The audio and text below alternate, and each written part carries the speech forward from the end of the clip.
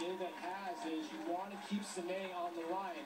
The first baseman that's going to hold Steinbach at first because you're going to play no doubles here. But it opens up that big hole that lefties love. And it might eliminate Auburn's great breaking ball because you don't want somebody to roll over. Stringer's hit a lot of balls to right. He's had some great at-bats.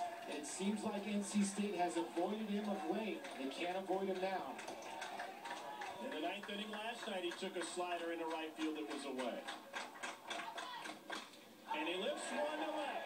Adametz charging in.